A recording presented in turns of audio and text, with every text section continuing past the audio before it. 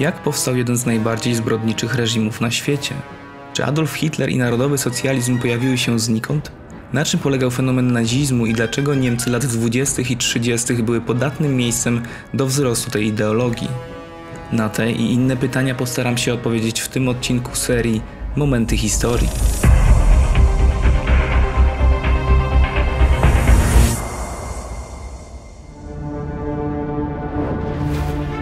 Powojenny kryzys. Zapoczątkowany w Stanach Zjednoczonych wielki kryzys gospodarczy roku 1929 objął swoim zasięgiem nie tylko kontynent amerykański, ale również Europę. Do Niemiec dotarł w 1930 roku, pogłębiając i tak ciężką sytuację państwa, zapoczątkowaną przyjęciem niezwykle surowego traktatu wersalskiego, kończącego I wojnę światową. Reparacje wojenne za spowodowane zniszczenia podczas I wojny światowej ustalono na 132 miliardy marek w złocie, co równało się 33 miliardom dolarów, które odpowiadało 3% PKB Niemiec płatnym przez 50 lat. Była to surrealistycznie wysoka kwota, która w założeniu miała hamować imperializm niemiecki i przeciwdziałać wzrostowi potęgi ekonomicznej Niemiec. Traktat obejmował również szereg obostrzeń z innych obszarów, m.in. liczne straty terytorialne czy ograniczenie liczebności armii, marynarki i lotnictwa. Głównym adwokatem zaostrzenia restrykcji była Francja. Nieobojętne dla Niemców okazały się także olbrzymie straty terytorialne, głównie na rzecz odrodzonej po 123 latach zaborów Polski. Przewodnim efektem kryzysu przełomu dekad był spadek cen artykułów przemysłowych oraz rolnych. Przy zmniejszonym popycie fakt ten spowodował nadprodukcję. Spadek wartości produkcji powodował tym samym redukcję dochodów przedsiębiorstw, a nawet bankructwo części z nich. Kryzys poważnie odbił się na gospodarczych relacjach z zagranicą. Widoczny był duży spadek obrotów handlowych. Bardzo szybko rosło także bezrobocie. W styczniu 1928 roku wynosiło ponad 1 800 tysięcy bezrobotnych, podczas gdy rok później bezrobotnych było o milion więcej. W kolejnych latach ta liczba stale rosła, aż przekroczyła 6 milionów bezrobotnych. Sytuację pogarszał kryzys bankowy. 14 lipca 1931 roku upadł jeden z największych banków niemieckich, mianowicie Darmstädter und Nationalbank. Narodowo-socjalistyczna niemiecka partia robotników. Państwo niemieckie było niezwykle dotknięte przez kryzys. Ciężkie warunki odbiły się na sytuacji politycznej. Wydatki na bezrobotnych spowodowały dotkliwy kryzys budżetowy. 27 marca 1930 roku doszło do upadku socjaldemokratycznego rządu kanclerza Hermana Müllera. Na jego miejsce powołano centrowy rząd Heinricha Bruninga, posiadający 130 posłów. Głównym zadaniem nowego rządu było zainicjowanie programu Osthilfe, ustawę o pomocy dla Wschodu, który to program stanowił część pakietu o charakterze interwencyjnym, mającego wyprowadzić kraj z kryzysu gospodarczego.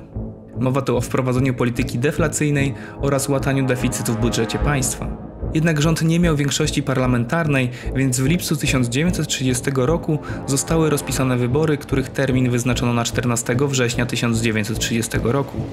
Na pozór nie przyniosły one większych zmian, poza wielkim sukcesem Partii Narodowych Socjalistów NSDAP, którzy zdobyli aż 107 mandatów, czyli 18% ogólnej ich liczby. Warto podkreślić, że do tej pory posiadali ich jedynie 12. Narodowi socjaliści zdobyli tak dużą liczbę mandatów głównie kosztem innych partii prawicowych. Mimo braku poparcia parlamentu, rząd Bruninga sprawował władzę nadal do 1932 roku.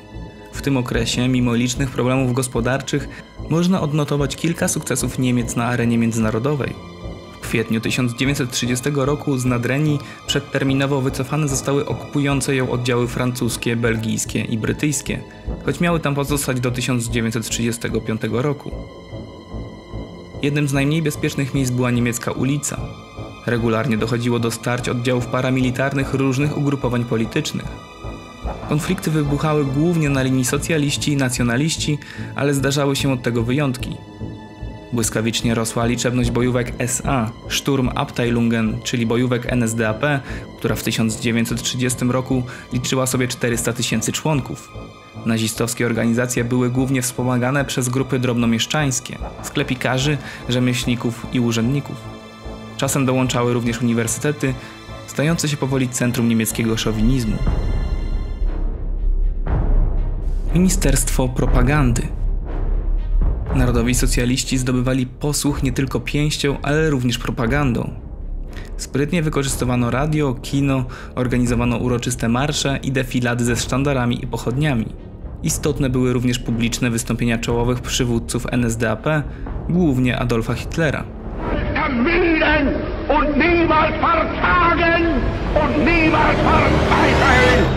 Narracja mówców była wyjątkowo prosta, do takich też ludzi miała trafiać. Wynikało to głównie z braku jakiegokolwiek zaplecza materialnego.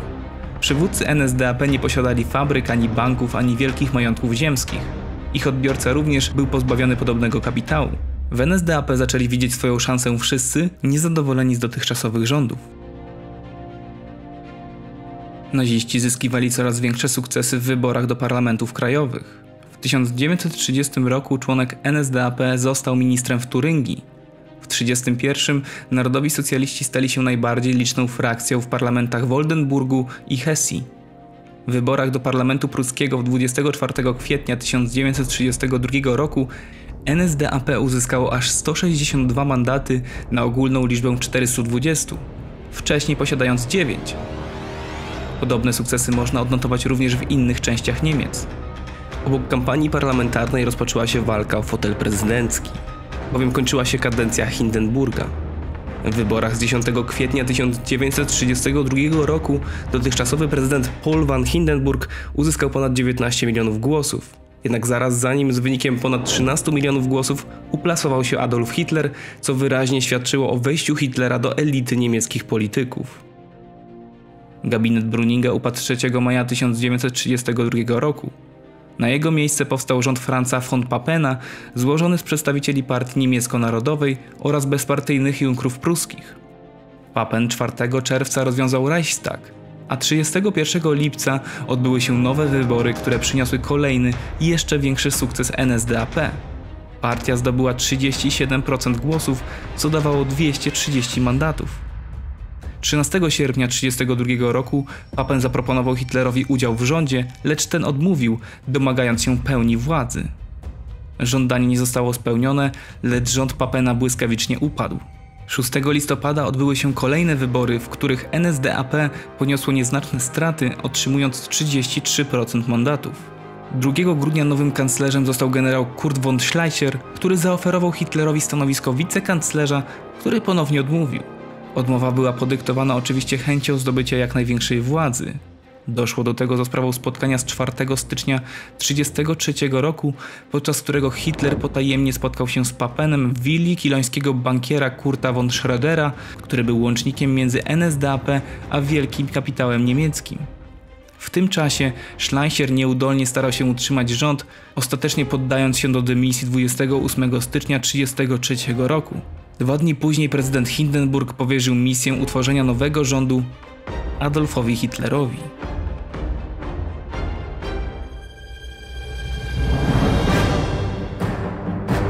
Nowy kanclerz. Powołanie Hitlera na stanowisko kanclerza było przełomową datą w historii nie tylko Niemiec, ale i świata. Osiągnął on cel, do którego dążył przez kilkanaście ostatnich lat. W dniu objęcia kanclerstwa przyjął on wielką defiladę oddziałów SA w Berlinie nieopodal bramy brandenburskiej.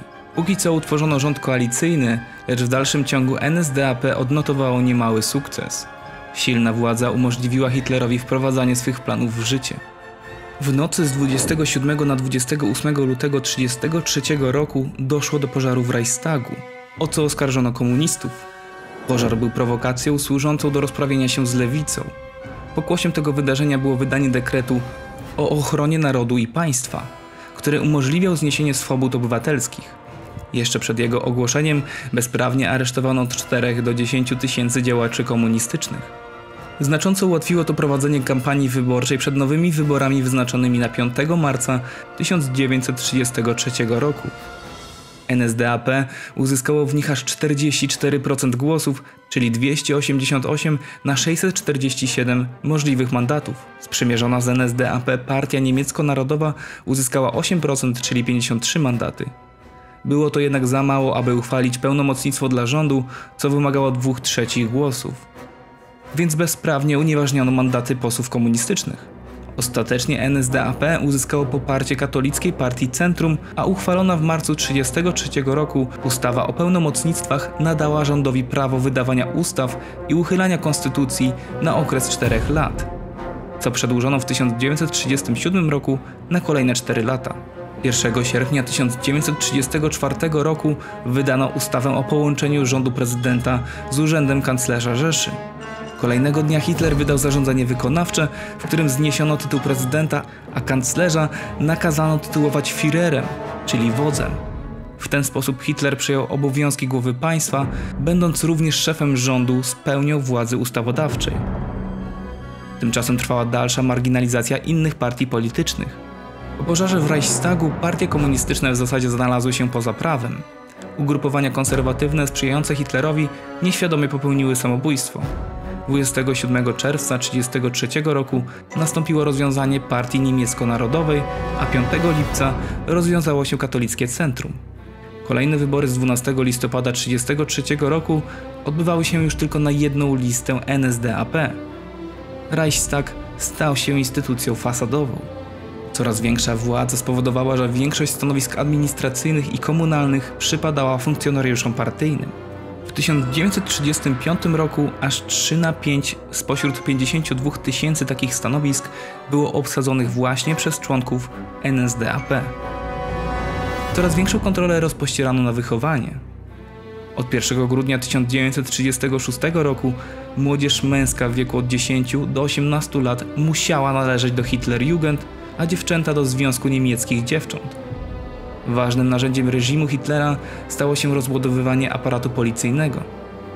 26 kwietnia 1933 roku utworzono symbol nazistowskich Niemiec tajną policję państwową Geheime Staatspolizei, czyli Gestapo. W tym okresie powstawały również pierwsze obozy koncentracyjne, m.in. Dachau koło Monachium, w których osadzano przeciwników politycznych, jak i również zwykłych przestępców, alkoholików, homoseksualistów i Żydów. W kwietniu 1939 roku liczba więzionych osiągnęła około 300 tysięcy osób. Kwestia żydowska. Należy jednocześnie pamiętać, że za głównych przeciwników Niemiec, również na gruncie ekonomicznym i gospodarczym, narodowi socjaliści uważali Żydów. Obwiniano ich za wszelkie niedole Niemiec, przypisując im przede wszystkim odpowiedzialność za kształt i zaakceptowanie postanowień traktatu wersalskiego. Zaraz po dojściu Hitlera do władzy rozpoczęto otaczanie antysemityzmu majestatem prawa, wydając coraz to nowe przepisy ograniczające prawa ludności żydowskiej. Regularne stały się przez to ataki na żydowskie sklepy, synagogi i mieszkania. Już 1 kwietnia 1933 roku ogłoszono masowy bojkot sklepów i przedsiębiorstw żydowskich.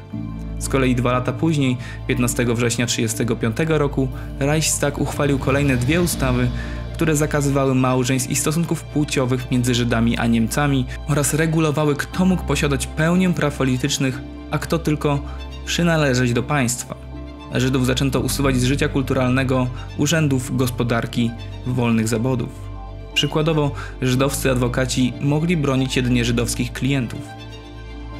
28 października 1938 roku zarządzono natychmiastowe opuszczenie Rzeszy przez Żydów obywatelstwa polskiego, co zresztą spotkało się z odmową przyjęcia ich przez stronę polską.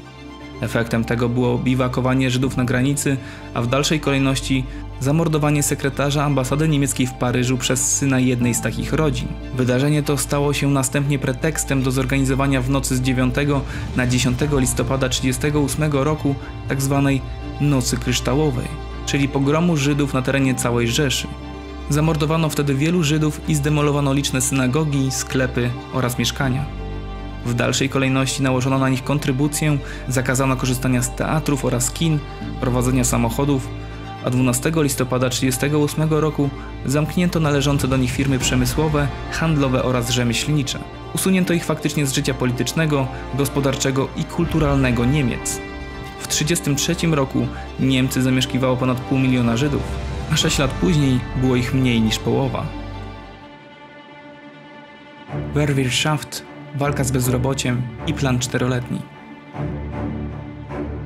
14 lipca 1933 roku uchwalono ustawę, w myśl której tworzenie jakichkolwiek innych partii było zagrożone do trzech lat więzienia, co rozszerzono również na związki zawodowe. 2 maja tego roku zresztą rozwiązano związki zawodowe, przejmując ich majątek. W myśl kolejnych ustaw przedsiębiorcy uzyskali całkowitą władzę nad swoimi robotnikami. Pod przykrywką gospodarki prywatnej kwitł etatyzm. Trzecia Rzesza coraz większy nacisk kładła na przemysł ciężki, Wehrwirtschaft, służący militarnym planom Führera. Znacząca pozostawała również intensyfikacja programu budowy dróg i mostów z roku 1929 oraz rozwój przemysłu motoryzacyjnego. Organizatorem i nadzorcą budowy autostrad został Fritz Todt. Do pełnego zatrudnienia w Niemczech przyczynił się głównie program budowy autostrad, jak i wzrost zatrudnienia w branżach zbrojeniowych, przede wszystkim w przemyśle stoczniowym i lotniczym. Również znaczący był wzrost liczebności sił zbrojnych ze 100 tysięcy do około miliona w 1939 roku. Niwelowanie bezrobocia w taki sposób miało jednak swoją cenę. Po prawie czterech latach narodowo-socjalistycznej gospodarki zbrojeniowej niemal całkowitemu wyczerpaniu uległy rezerwy surowcowe i żywieniowe. Handel zagraniczny zamarł ze względu na trudności eksportowe. Bez dopływu surowców nie były więc możliwe dalsze zbrojenia, a polityka Führera zaczęła zbliżać się do martwego punktu. Wobec tego Hitler na zjeździe partyjnym w 1936 roku ogłosił wprowadzenie planu czteroletniego pod hasłem Poprawa standardu życiowego narodu niemieckiego. W związku z ukierunkowaniem wszelkich sił na zbrojenia wymagano od narodu czasowej rezygnacji z artykułów konsumpcyjnych. Spotkało się to z krytyką. Prezes Banku Rzeszy i minister gospodarki Hjalmar Schacht był nastawiony sceptycznie do dalszego rozszerzania zbrojeń i uważał, że możliwości gospodarki Niemiec zostały wyczerpane, widząc dalszy rozwój Niemiec wyłącznie przez włączenie ich do systemu handlu światowego i rezygnacji z koncepcji samowystarczalności gospodarczej. Hjalmar Schacht jako prezes Banku Centralnego umożliwił wprowadzenie do obiegu tzw. Tak weksli MEFO-Wechsel, mających na celu finansowanie programów tworzenia nowych miejsc pracy oraz programu zbrojeniowego. Weksle te wystawiane przez firmę Antrapę Metallurgische Forschungsgesellschaft i gwarantowane przez państwo pokryły w latach 34-38 około 30% wydatków na zbrojenia. Do realizacji planu czteroletniego powołano osobny urząd kierowany przez Hermana Göringa, wyposażonego w daleko idące pełnomocnictwa. W ten sposób siły zbrojne uzyskały znaczący wpływ na gospodarkę Niemiec. Hitler postawił następujące zadania – Armia niemiecka musi w ciągu 4 lat osiągnąć stan gotowości bojowej. Niemiecka gospodarka musi w ciągu 4 lat być gotowa do wojny. Dozbrojenie sił zbrojnych miało umożliwić lokalne działania wojskowe celem pozyskania zdobycz terytorialnych. Zapiski Hitlera o kluczowych zagadnieniach planu czteroletniego przewidywały zwiększenie wydobycia ród żelaza bez względu na zawartość żelaza oraz pozyskiwania surowców i materiałów zastępczych. Pomijanie zagadnienia rentowności wywołało poważny konflikt z przemysłem hutniczym i ministrem gospodarki Hjalmarem Schachtem. Hitler oczywiście nie uwzględniał tych zastrzeżeń, co w listopadzie 1937 roku doprowadziło do dymisji Schachta. W wyniku podjętych przez władze działań bezrobocie w 1939 roku spadło do poziomu poniżej 1%. Stopa oszczędzania w latach 32-38 wzrosła z 11 do 18%. Produkcja przemysłowa wzrosła dwukrotnie, a produkcja rolnicza wzrosła o niemal 10%. Jednocześnie odnotowano spadek płac realnych o 25% w latach 33-38, a wzrost produkcji miał miejsce głównie w obszarach przemysłu zbrojeniowego. Autostrada do wojny. Społeczeństwo niemieckie zostało mocno dotknięte kryzysem finansowym przełomu lat 20. i 30. XX wieku które spotęgowały niekorzystne dla Berlina ustalenia traktatu wersalskiego. Bóstwo i bezrobocie były powszechne. Dumni Niemcy, potomkowie zwycięskich Junkrów spod Sedanu, byli upokorzeni. Na toksycznym gruncie kwitną toksyczne ideologie. Imperialistyczne działania Hitlera i narodowych socjalistów były z kolei bardzo dobrze przemyślane. Stopniowe zjednywanie narodu niemieckiego dla ideologii nazistowskiej przebiegało na wielu płaszczyznach, od ideologicznej przez polityczną i gospodarczą. Przywracanie poczucia narodowej dumy, ograniczanie praw mniejszości i redukcja bezrobocia spowodowały, że niemal każdy Niemiec coraz bardziej akceptował politykę NSDAP. Wydaje się, że w umysłach nazistowskiej elity wojna była celem od zawsze, jednak zwykli Niemcy poparli tę zbrodniczą ideologię dopiero w momencie upokorzenia i biedy. Nie tłumaczy to niemieckich zbrodni, jednak pokazuje, że dobitne poniżenie przeciwnika po zwycięstwie nie zawsze okazuje się optymalnym rozwiązaniem w perspektywie długoterminowej. Nałożone przez Francuzów na Niemców kajdany w postaci traktatu wersalskiego podpisanego w 1919 roku po 20 latach wróciły ze zdwojoną siłą. Cześć! Dzięki, że jesteś z Good Times Bad Times. E, pamiętaj, że istnieje możliwość wsparcia projektu na platformie Patronite. Pamiętaj także o zostawieniu kciuka w górę lub komentarza dla algorytmów. Kolejne materiały już wkrótce. Zapraszam.